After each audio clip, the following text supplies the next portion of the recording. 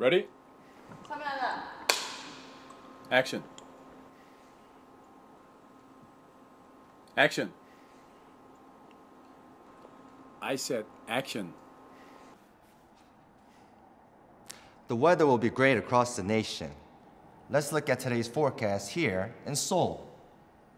In Seoul. Why is it blank? What the f wrong with you guys, huh? What's wrong with you? Here, take this.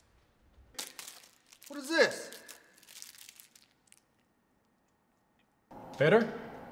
Much better.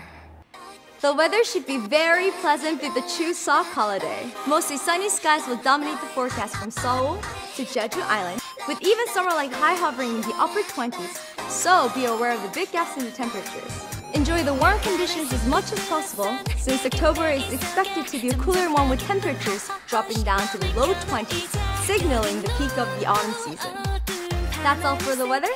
Hope you have a wonderful Chuseok holiday.